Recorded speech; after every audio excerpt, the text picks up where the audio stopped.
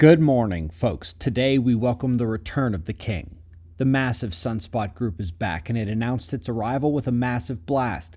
An approximately X3 solar flare erupted spectacularly from its position at the incoming limb. Let's dive right in. Last 24 hours on the sun had been quiet. Hope you enjoyed that quiet while it lasted. The filaments remain stable, the big northern spots still bide their time, and geomagnetic conditions at Earth are fairly calm.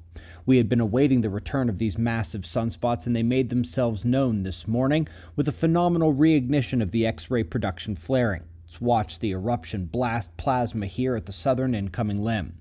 Happy Memorial Day, everyone, and we remember indeed. Let's keep our fingers crossed it's just getting its rage out before spinning in to face the Earth again.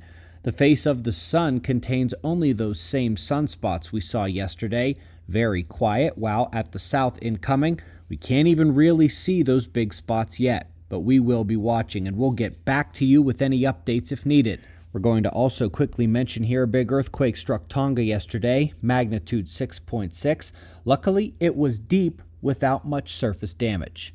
And folks, if you didn't catch last night's video, please do. The sun impacts the crustal rotation of our planet. Literally, the length of a day is impacted by solar storms. Watch it, you will not be disappointed. And lastly, the private live stream is tonight. If you are not a subscriber of our e magazine yet, it is the best monthly publication on the sun and the ongoing magnetic pole shift. And we often do other fun things like the live stream coming tonight. Sign up at the link below. We greatly appreciate your support. We'll do this all again tomorrow, right here, but right now at 6 a.m. in the new Valley of the Sun. Eyes open, no fear be safe, everyone.